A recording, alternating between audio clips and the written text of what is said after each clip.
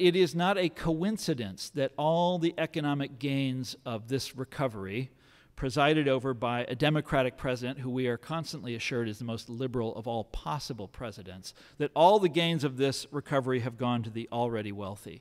And this is not, or I should say, not merely because sinister Republicans have consistently thwarted the righteous liberal will. Yes, I know that Republicans are awful and that they play the game in this sort of extraordinary way, right? That they are very, very good at obstruction. That's what they do. But what, we're, what I'm describing here in this issue with the banks is a straight up Democratic failure.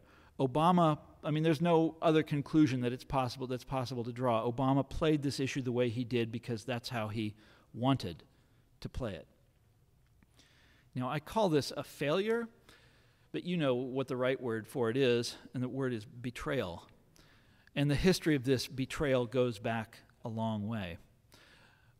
When I was, um, when I was young, back in the 70s and the 80s, the Democratic Party if you remember back then, was forever grappling with its identity, right? Fighting with all the Democrats were forever fighting with one, over, with one another over who they were and what they stood for. And this went on for year after year after year. And there were all of these different factions within the Democratic Party.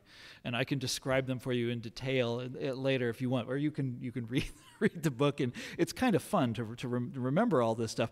But they, they fought like cats and dogs on nearly everything, but they agreed on one thing. There was one thing that all of these different factions within the Democratic Party agreed on, and that was that Democrats had to turn away from the legacy of the New Deal with its fixation on working class people, right? So they disagreed on everything else, but that was one, one thing that they all came together on.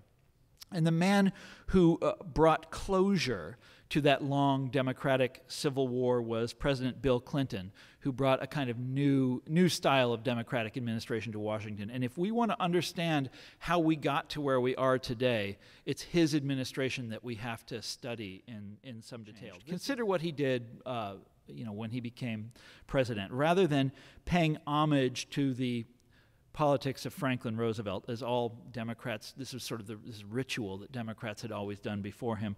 Clinton did the opposite. He did these kind of singular favors for Roosevelt's enemies, for the banks, the radio networks, the power companies, uh, basically the bosses. He deregulated Wall Street, and not just once, it wasn't just one or two measures, it was consistently through his administration.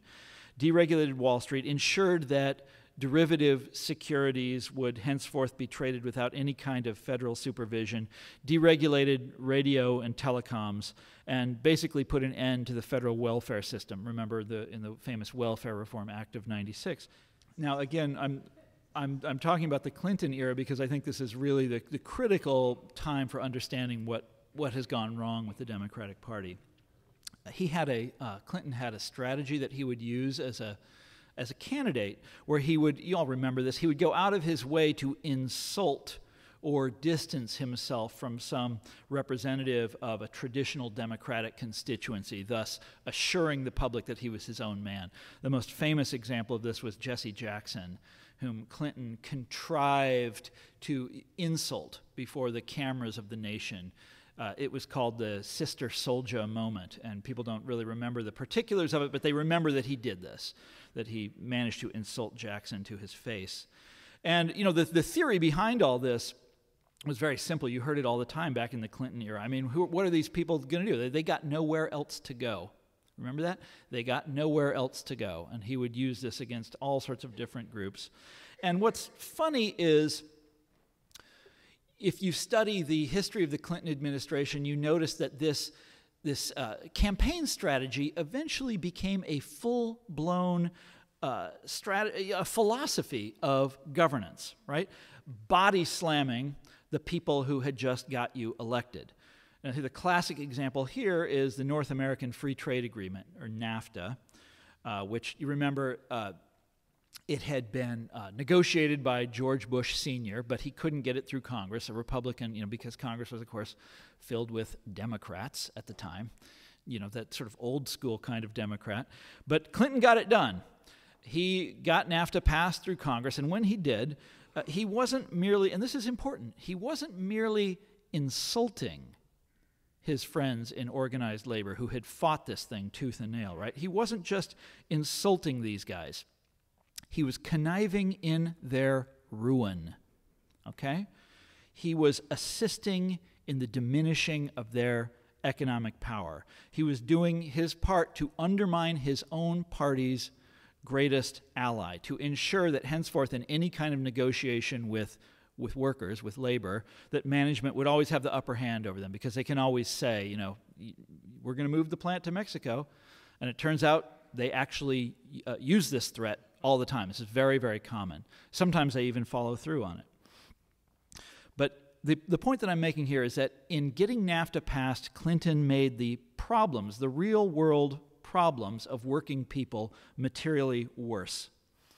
And NAFTA is fascinating for all sorts of reasons. You know, it's a wonderful thing to go back and study because it's as straight, excuse me, it's as close to a straight up class issue as you ever come across in, uh, in our modern day politics. And it gives us an idea of who our modern day Democrats uh, mean to please. If you go back and look at who is in favor of NAFTA and who is opposed to it, professionals and the wealthy were very deeply in favor of NAFTA, you know, right? Because it was something that you learned on your first day in in economics, right? Econ 101, you were supposed to learn about, you know, about the about trade and you know, it's it's, it's basic stuff. Um, and there was this moment where you had 283 professional economists signed a statement declaring that the treaty will be a net positive for the U.S. in terms of employment creation and economic growth, that sort of thing. And on the other side, of course, you had blue collar workers uh, most of whom, by definition, hadn't gone to college at all, and they're, uh, they're against it. Now, ironically, the predictions of the unlettered uh, blue collar workers turned out to be far closer to what eventually came to pass than uh, did the rosy scenarios of the, all those economists and the Rhodes Scholar in the White House